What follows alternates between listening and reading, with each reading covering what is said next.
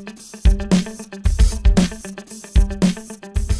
you ever go back and revisit ideas, or is it for new Once in a while, once in a while, but we always try to write fresh for every record and not use any old ideas, because we look at each record as a time capsule of where we're at at that time. And you know, it might have be some quality music that we've written before that didn't get used, but we usually just kind of let it dissolve because it's always everything we write or come up with is always a part of our DNA and the way that we create, anyways.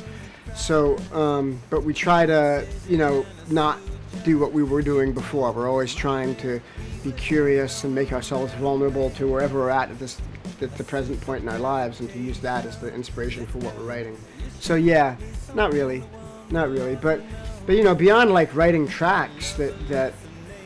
that don't get used and that never get used, and you know that we think are really good. There's also like you know we just jam a lot. Like we spend a lot of time just improvising, jamming, and kind of really going to the center of our creative selves. And none of that ever gets used. You know, once in a while, like a little piece of a jam like, oh, that would be good for a song, but it's like we just jam to jam, and I feel like that's what makes us like the thing about the Chili Peppers that I think that, that people really connect with, you know, outside of you know good songs or whatever, is the fact that we spend so much time jamming and connecting with each other and finding a thing about us collectively